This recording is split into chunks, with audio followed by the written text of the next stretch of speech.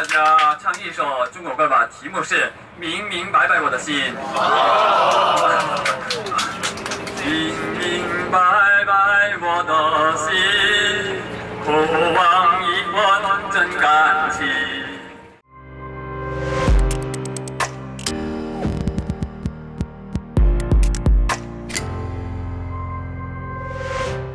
嗨，阿平电影院的院友们，大家好。上一集阿平游朝鲜的空姐特辑，后来有被三立新闻引用了一些画面，也有很多网友只看了开头，但没有看到影片的最后。所以这集开始前，就先回顾一下上集的精华片段吧。上高丽航空的空姐可都是全朝鲜万中选一的，可以说除了朝鲜国内的牡丹峰乐团成员之外，长相最漂亮的女生了。而且最难得的是，纯天然无加工过的哦。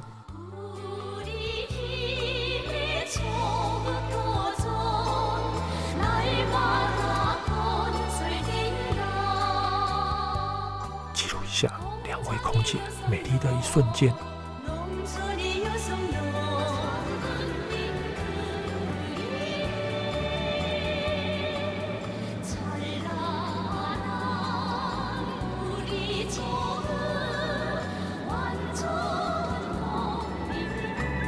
沈阳到，准备下飞机。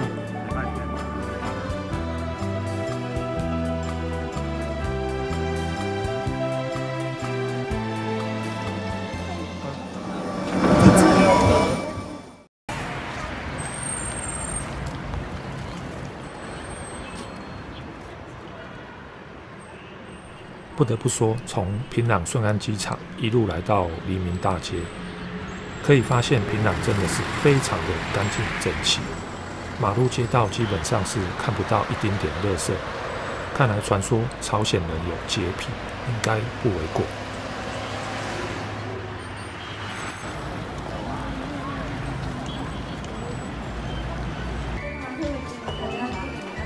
好，这个上上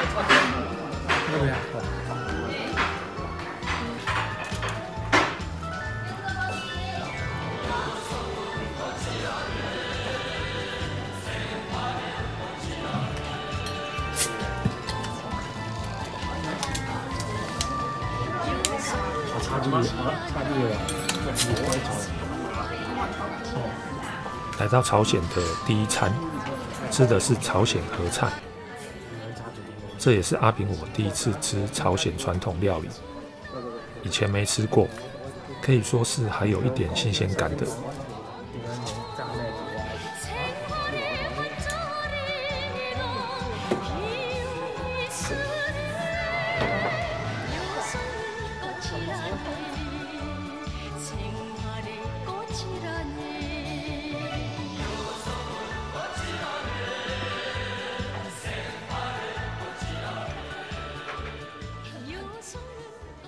来朝鲜吃饭，每餐都会有的大同江啤酒。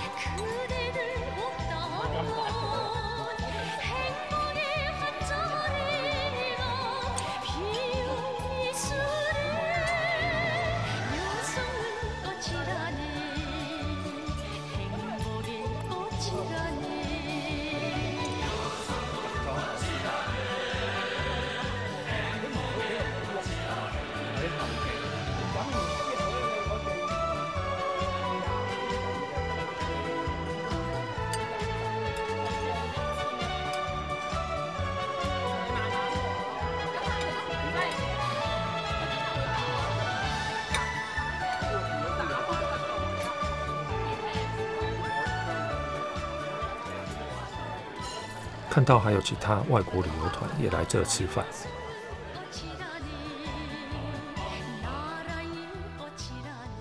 二楼这边好像是一个俱乐部之类的。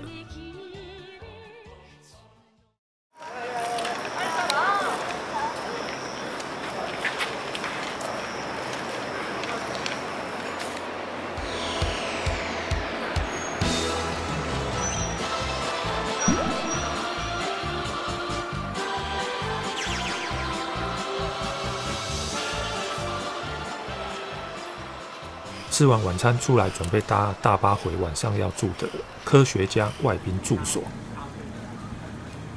黎明大街这边的建筑晚上都有灯光装饰。啊，各位先生们、女士们，大家好，啊，晚上好，啊，今天晚上吃的怎么样？可以吗？可以啊，谢谢。今天我们品尝到我们朝鲜的河菜嘛，啊，所以刚才我们那个吃过饭的一个地方就是我们朝鲜国际旅行社两年啊，去年新开办的一所餐厅，啊。所以去年修建黎明大街嘛，所以呃修建黎明大街的时候，同就建立起来的。我这个餐厅也是一个同志建立起来的。二十七号，我们朝鲜的敬爱的金正恩同志，他通过板门店叫台北国分里县去过南朝鲜的版本的地区，在那里文在总统南朝鲜的一个文在总统跟他一个见过面嘛。所以当时金正恩在脚在北国分里县的时候，他看到了南北朝鲜的标志之间的。啊，所以金正恩在跟文在总统进行会谈的时候，跟他说过，啊，实现祖国统一之前，我们首先必须得这个实现这个南北朝鲜人民的一个标准时间。所以金正恩元帅后来回来平壤以后，大胆的采取措施，题目是阿里郎，阿里郎知道吗？啊，所以首先用朝文唱，然后用中文唱嘛。但是我这个人呢，唱的不那么好，大家别笑我呀。阿里郎，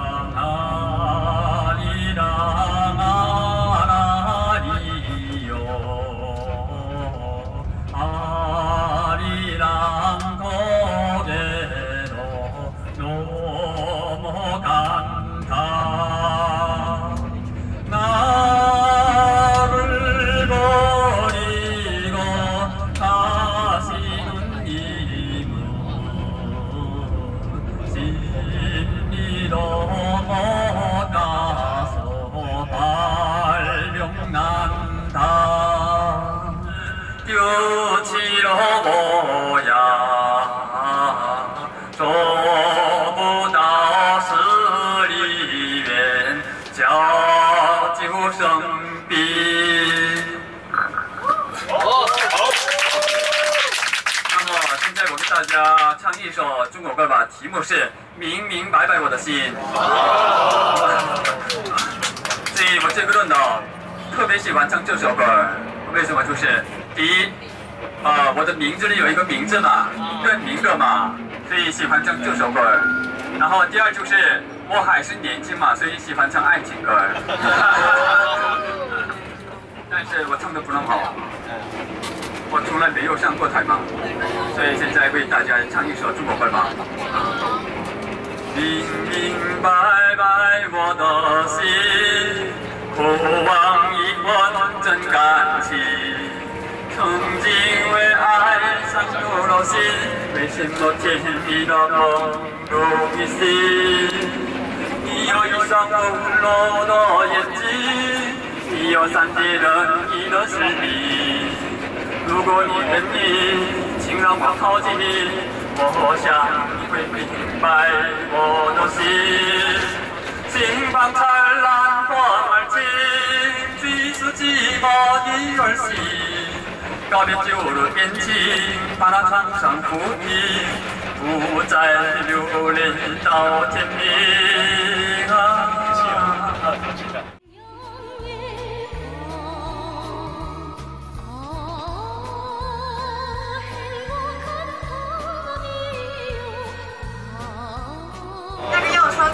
是流进半件，一共有一百零五层。那么我给您唱了一首歌，的好，请原谅一下。啊，还是唱的中国歌吧，题目是《亲密爱人》。今天还吹着风，想起你好晚了，等待着真爱的寄送。你对我那么的。好，日子真的不同。也许我应该好好把你拥有。我想有一直为我守候。亲爱的人，亲密的爱，才是我一生中最兴奋的时候，才是我一生中最兴奋的时候。五六年开始，我们朝鲜人民进行了千里马运动啊，所以我们朝鲜人民修呃进行千里马运动的时候，当时中国大陆有过大跃进运动，大跃进运动嘛啊，所以我们修建千里马大街的时候，我们朝鲜人民仅用十四分钟修建了一套房子啊，但是。啊，明天是国庆节嘛，国庆节，所以这个是。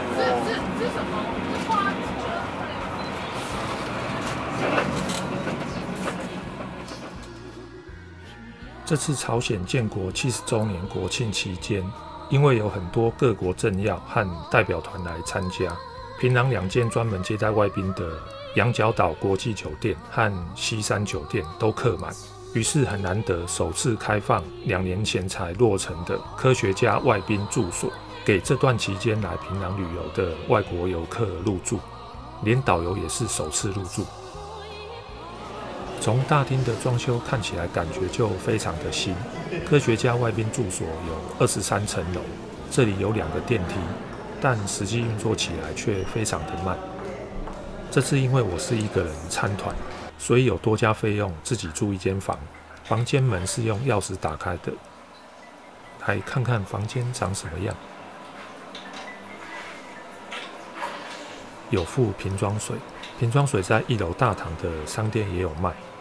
该有的洗漱用品都有，只是上面都是写潮文，看不懂。吹风机。厕所浴室看起来是相当干净，但热水供应只有到晚上十一点。抽风机上面写中文，应该是大陆的牌子。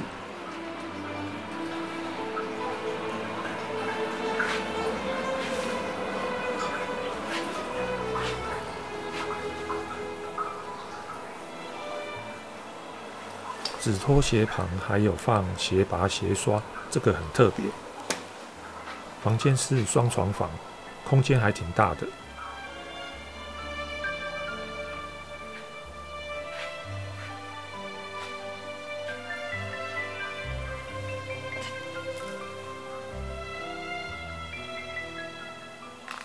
有个小冰箱和液晶电视。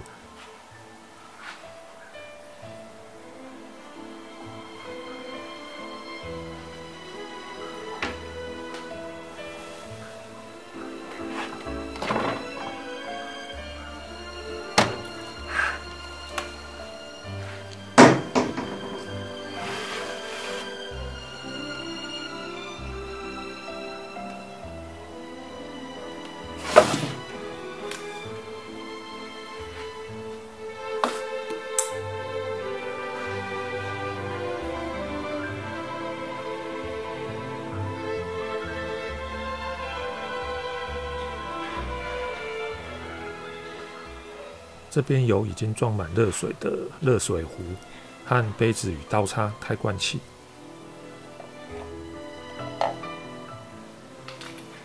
但房间只有两个插座。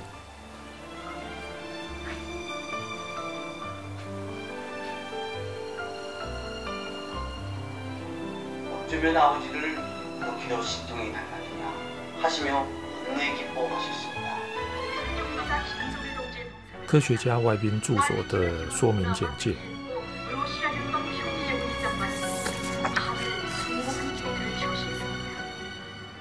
看看电视有哪些台可以看：德国之声电视台、凤凰卫视香港台、半岛电视台。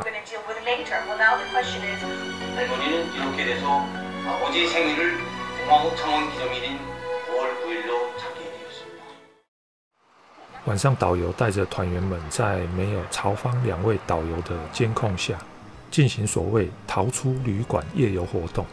但其实也只能在科学技术殿堂周边散散步，看看夜景。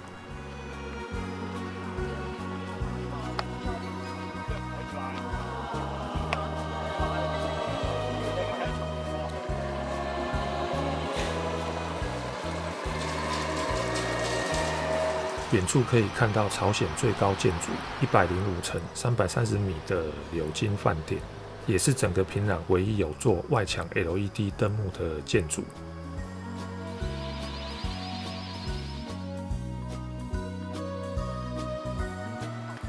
科学技术殿堂位于平壤爱岛，这边有露天学习场和喷水公园。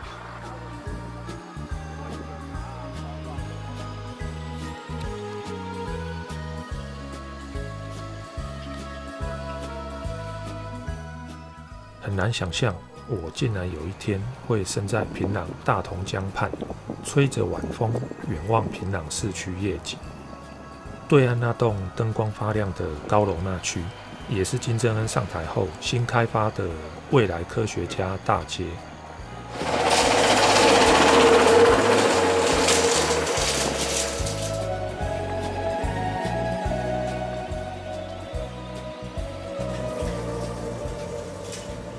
科学家外宾住所的造型也是比较科幻的。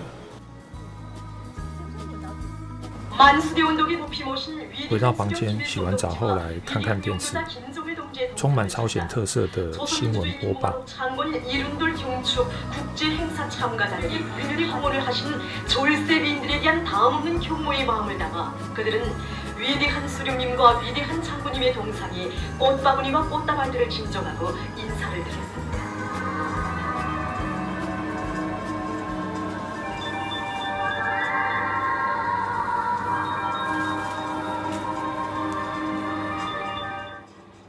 科学家外宾住所旁边的科学技术殿堂，建筑外形非常新颖特别，外观是依照原子核模型来新建，是金正恩上台后于二零一五年建成的一座科学教育博物馆，用来表现朝鲜政府很重视科研发展和人才培育。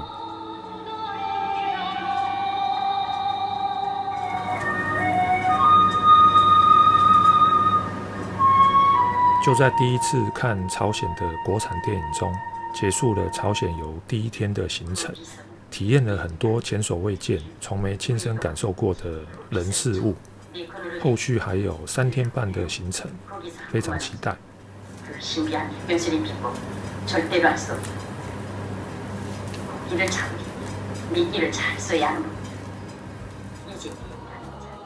本期阿平游朝鲜的影片就到这告一段落。其他更多朝鲜游记的精彩内容，之后会陆续发表，敬请期待。那我们就下一集影片再见。